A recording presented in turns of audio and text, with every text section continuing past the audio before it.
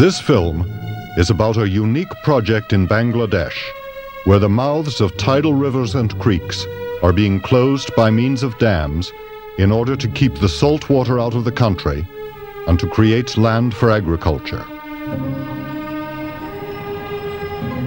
In February 1985, the largest closure until now was effected when 12,000 laborers closed the mouth of the Feni River in a period of seven hours.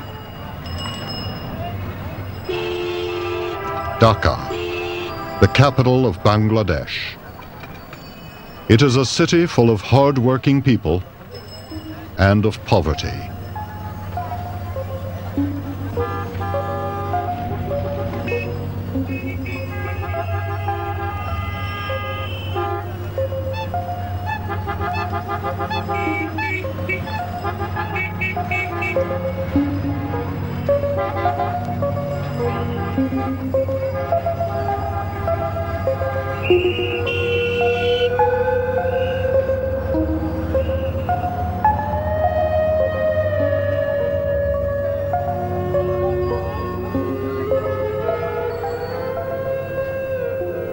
Ninety million people live in the flat delta of the three mighty rivers Brahmaputra, Ganges, and Meghna.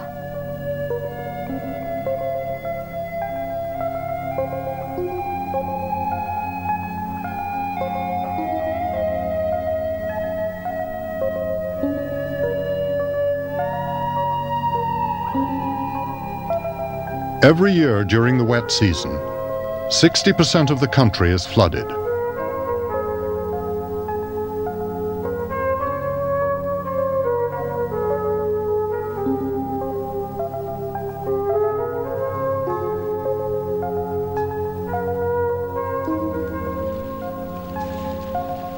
During the past 10 years, more than 300,000 people have died due to flooding. This means that 30,000 people drown each year. And this figure does not include all the others who die from starvation because of bad harvests. In Bangladesh, the battle against the water has the highest priority.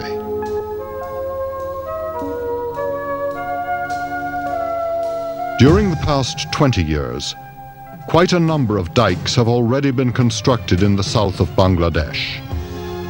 Behind these dikes, polders have been formed for agriculture. Sweetwater reservoirs are being created, and this water will be used during the dry season for irrigation of the land.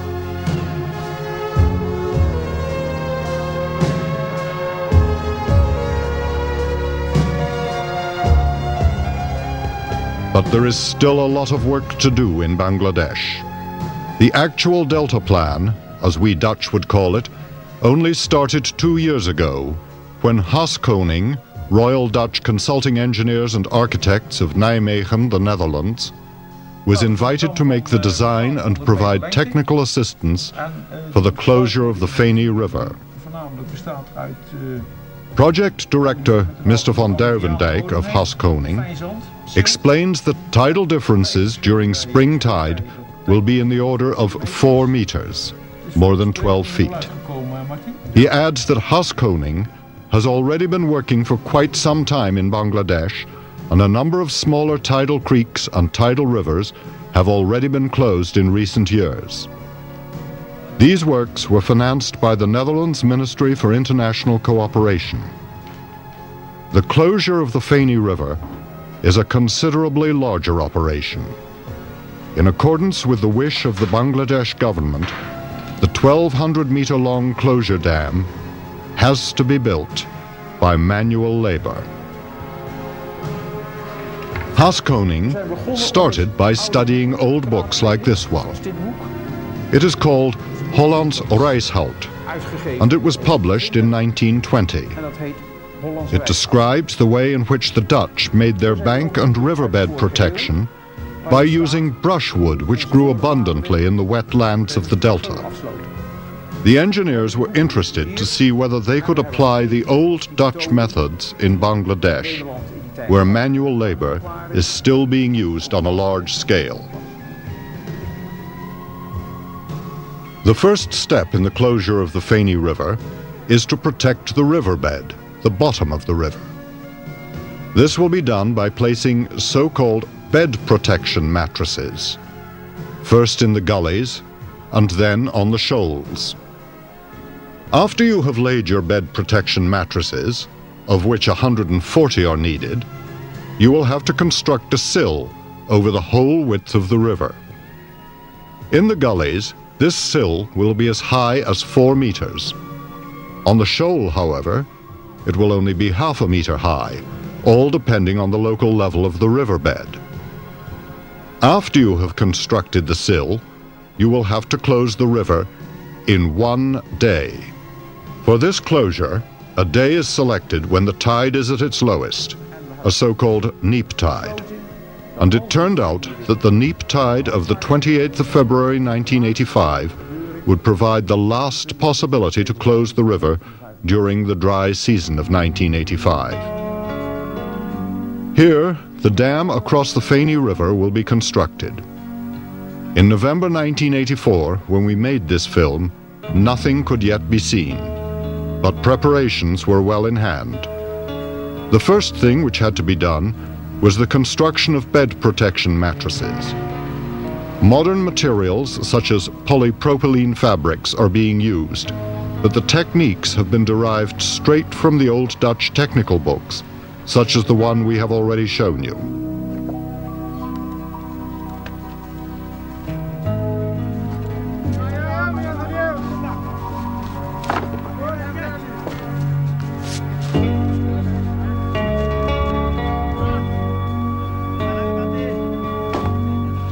In order to keep the mattress afloat, it has to be strengthened by means of so-called weeps.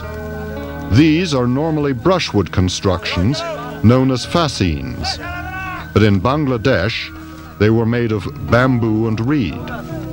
And these fascines make it possible to float the bed mattresses over the water to the places where they will be sunk. And again, this was the method used by the Dutch some 200 years ago.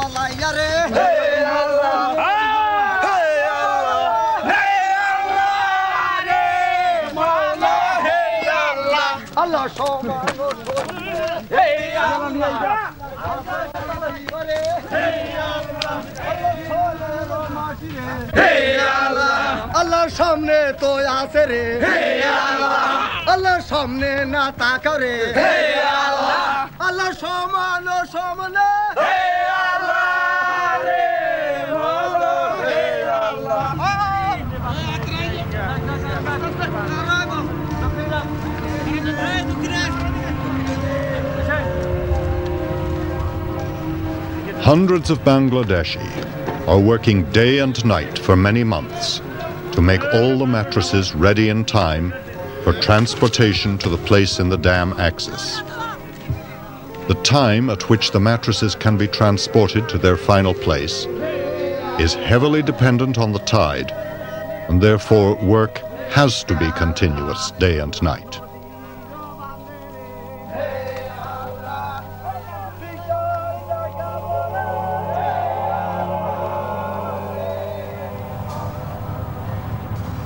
This mattress is still on the wharf where it was made. It will now be pulled into the water by means of a small tug and sheer manpower.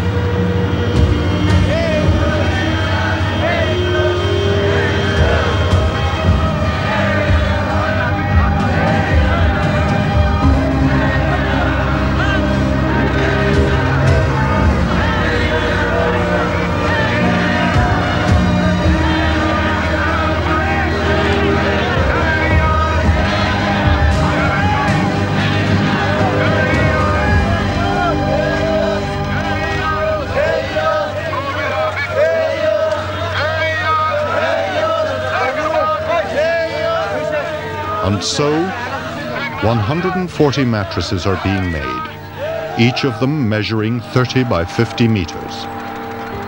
To keep the bed mattresses in place on the riverbed, more than 90,000 cubic meters of stones are required. These stones all have to come from the north of Bangladesh, from Sylhet, and just to transport these stones to the Feni River site, 360,000 man days were required.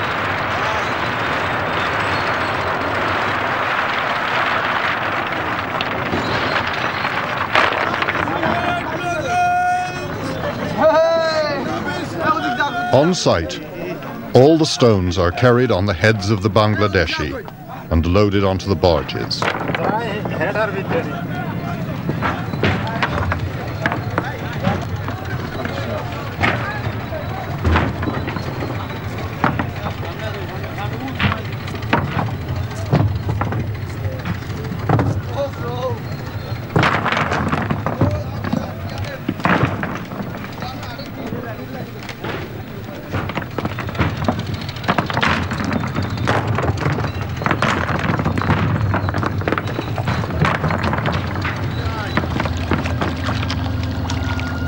A barge is being pulled to its destination by a tugboat.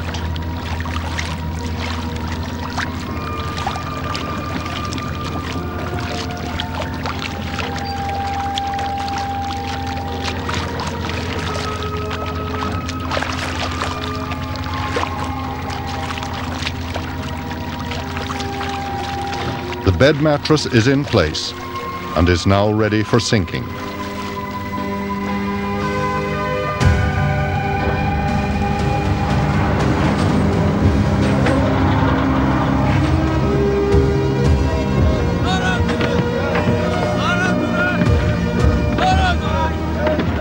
Stones are being thrown onto it from the barges to keep it firmly in place on the bottom of the river, even during high currents.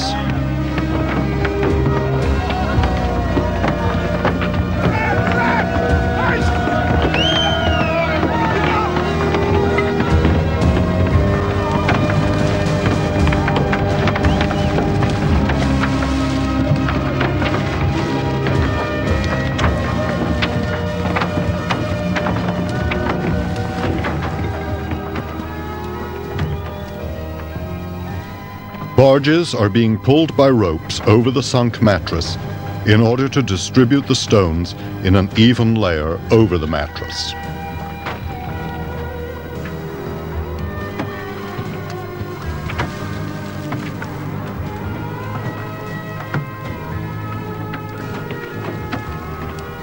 On the other bank, where it is not deep enough for the tug to maneuver, the mattresses have to be pulled into position solely by human labor.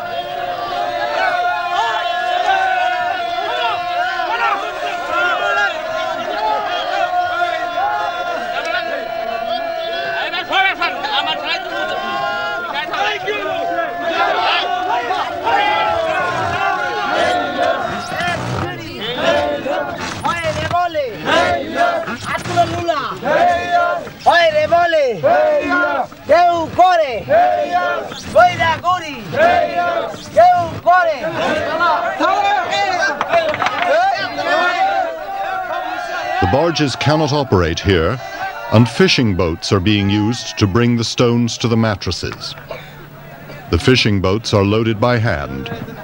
There are, however, also places where even the fishing boats cannot be used, and the stones are then carried by hand along walkways to the place where they have to be dumped.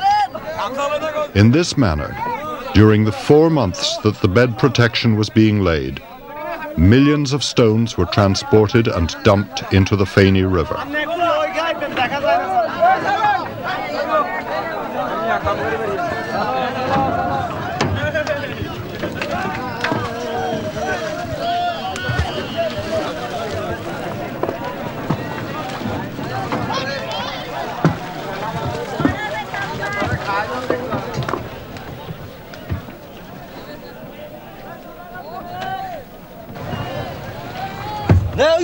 나가 여기 여기 많이 나가 이게는 머리 이게 어디 있어? 너가 너가 따라 너가 따라 바로 바로 에다 에다 에다 바로 비세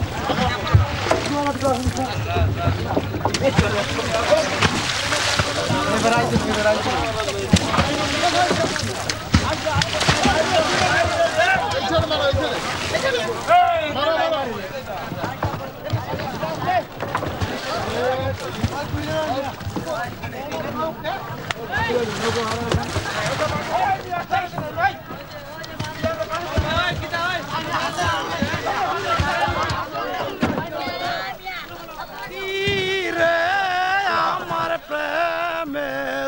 চিঠি নিয়া যাও বন্ধুর বাড়ি When a river has to be closed at its mouth, বনের it is necessary to make a sluice so that high water coming from inland can still be discharged into the sea.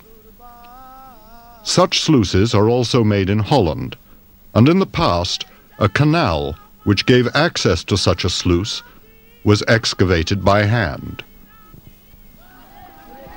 For the Feni River, too, a sluice and diversion canal are required, and in this case, the canal was also dug out by hand.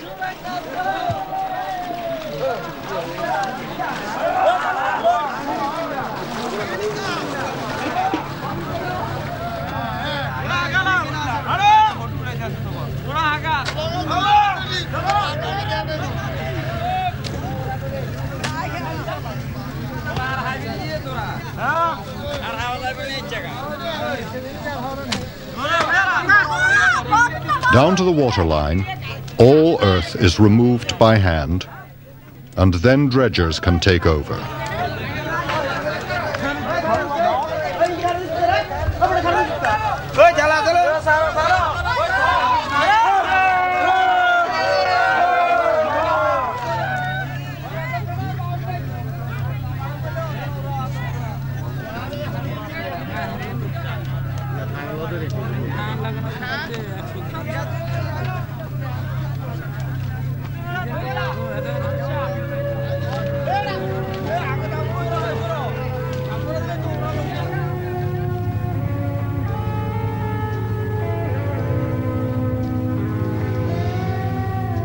This is the sluice which will be used to regulate the water level of the freshwater reservoir of 2,600 acres to be formed behind the Feni Dam.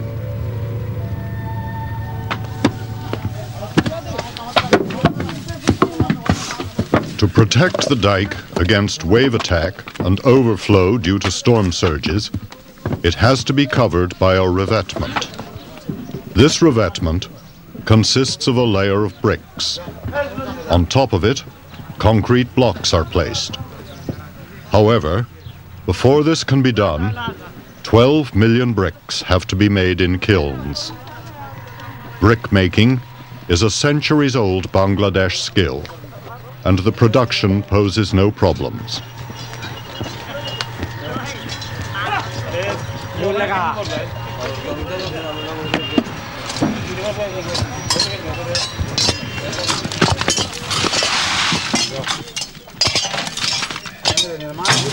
The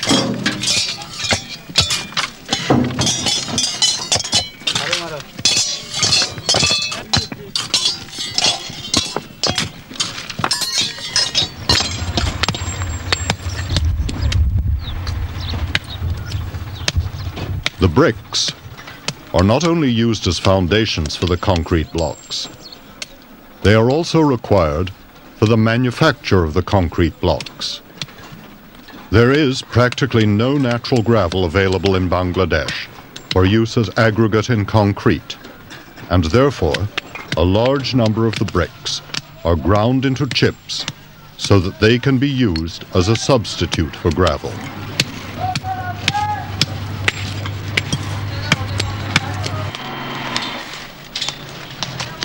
In the zone of heavy wave attack, only concrete blocks made with good gravel can be used. Blocks made with brick chippings for aggregate are not sufficiently strong for this purpose. It is for this reason that a lot of the stones which were transported all the way from the north of Bangladesh to Feni, are also cut into pieces. They are sorted out by hand to get the various gradings required for concrete production.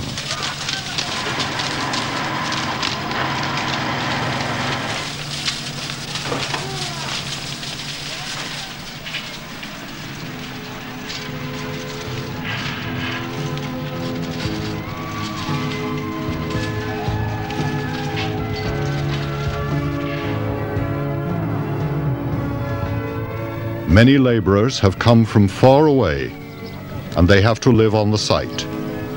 Their accommodation is primitive, but they don't complain.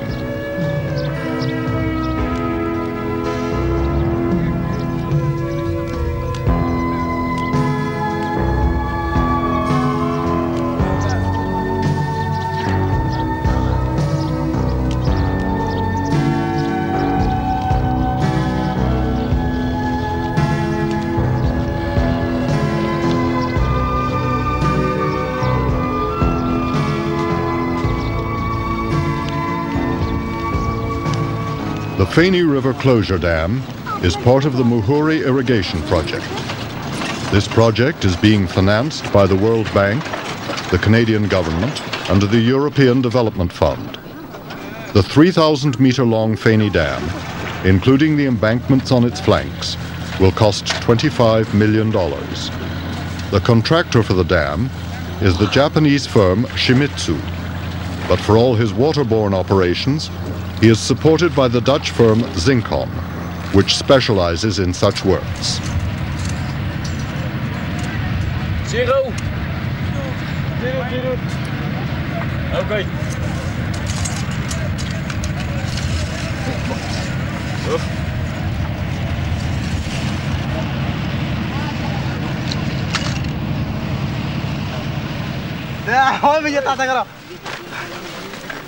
Approximately 2 million jute bags filled with clay will be required for the closure works.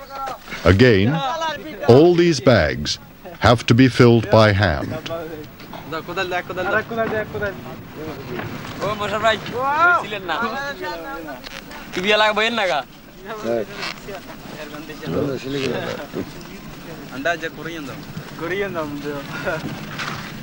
Pakistan, Bangladesh. লোক of করো লোক of করো হ্যাঁ,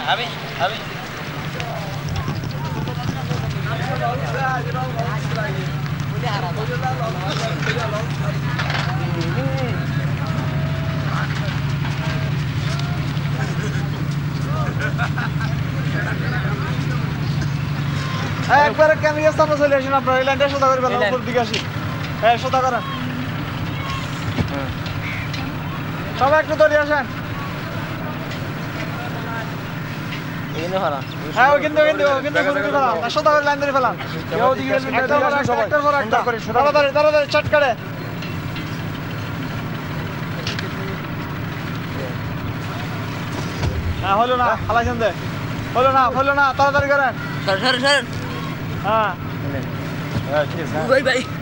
The method which will be used for the closure of the Feni River is not new. It was, for instance, applied in 1953 in Holland after the big flood disaster. Currents were also heavy there, and a lot of bags full of sand or clay had to be placed in a short time. However, most of the gaps closed then by this method were not as big as at Feni. At Feni, there is one advantage. During low water, most of the riverbed runs dry.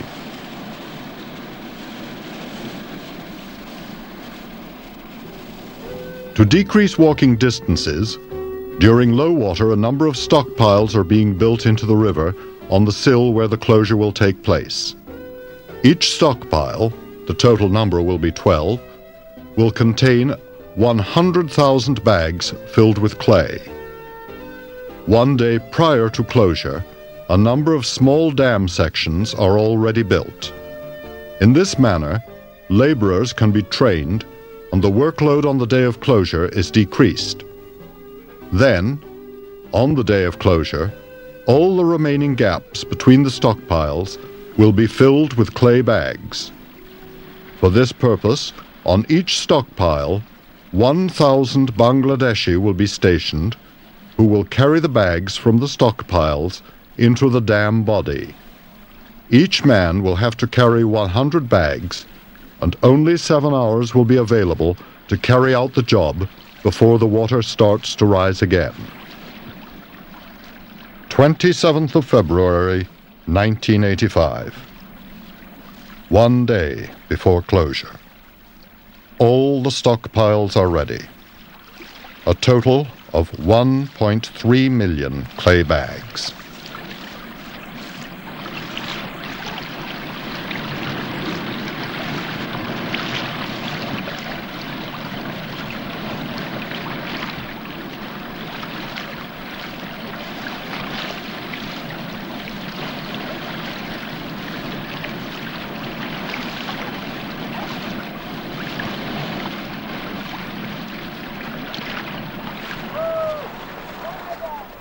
For the last time, the wave bringing in the tide from the Gulf of Bengal will enter the Feni River. This wave, which is characterized by a bore, can raise the water level by two meters, more than six feet, within half an hour, and current velocities over the sill between the stockpiles will be high. It can easily be understood that if tomorrow the dike is not ready in time, these heavy currents will destroy the work which was so carefully prepared and done during the past six months.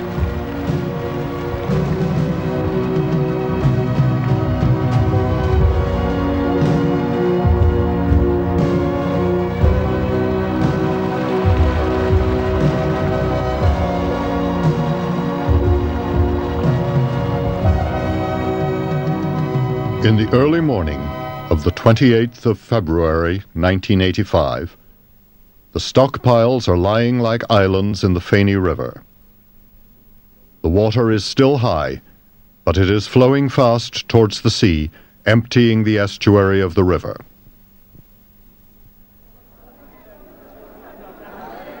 Six o'clock in the morning.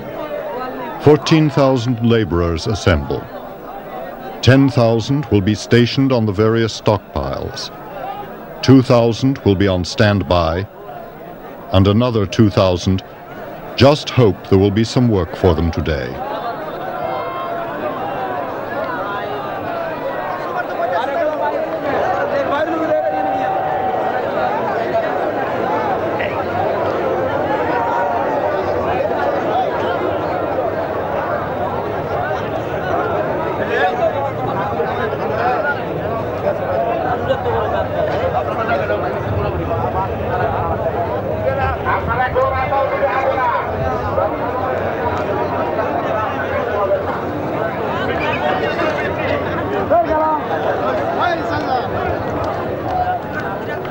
Eight o'clock in the morning.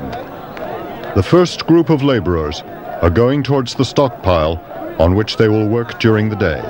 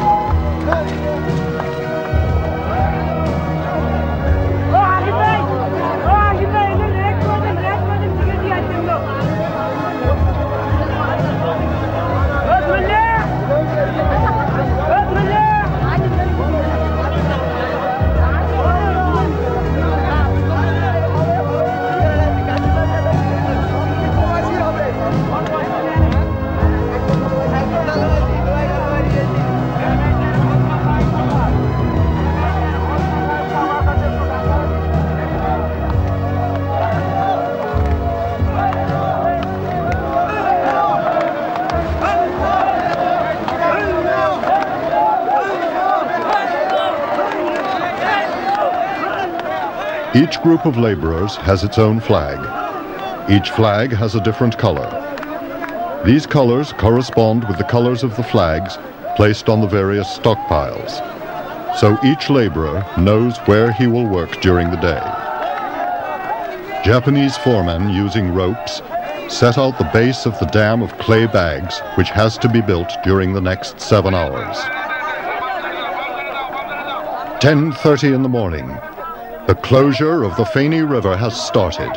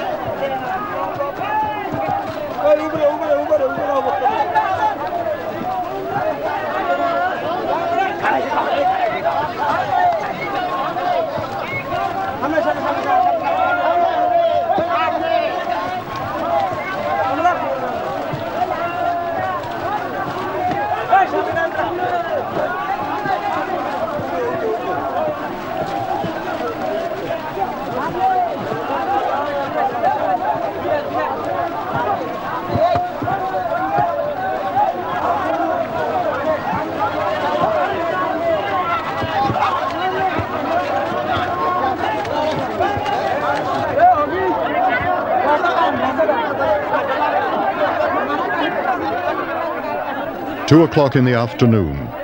The dike is growing. Production is high.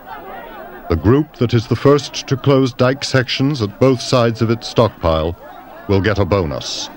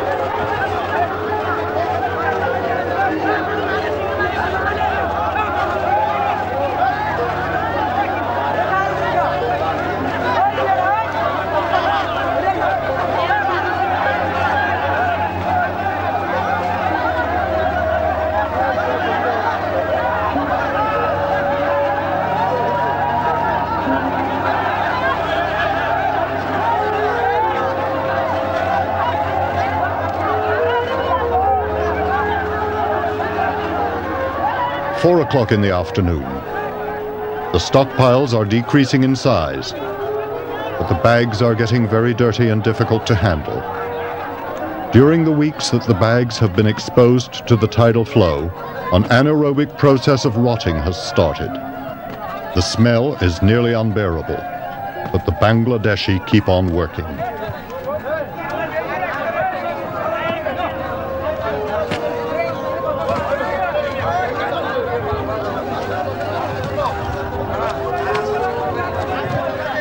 4.30, the group with the black flag has finished its work. Both their dike sections have been completed. The foreman is borne aloft on the shoulders of his happy crew.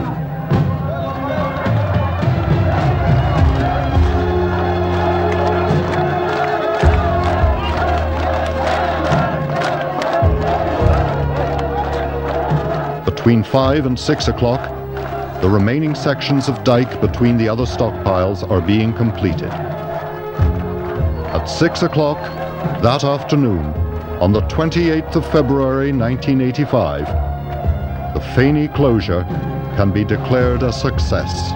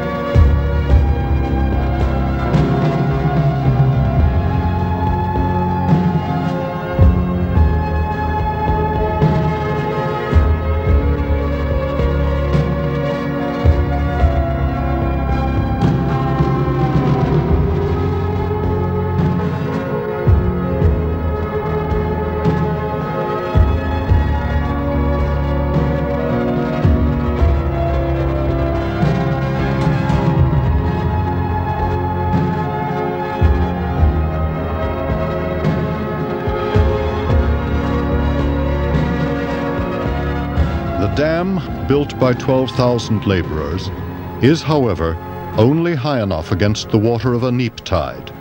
For a spring tide, which is expected for the 8th of March, only eight days later, a much higher dam will be needed. This spring-tide dam can only be built by means of heavy earth-moving equipment.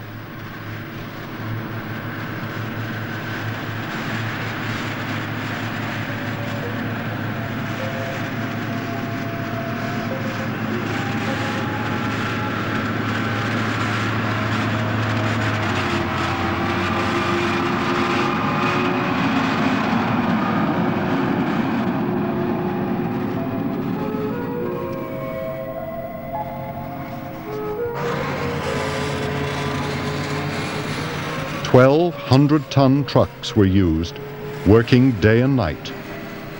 When they complete the Springtide Dam, the huge final dam profile will have to be constructed in only three months' time. It all worked out very well. And on the 25th of May, when a heavy cyclone induced very high water levels at the Feni Dam, construction had already progressed so far that no significant damage to the dam occurred and many lives were saved.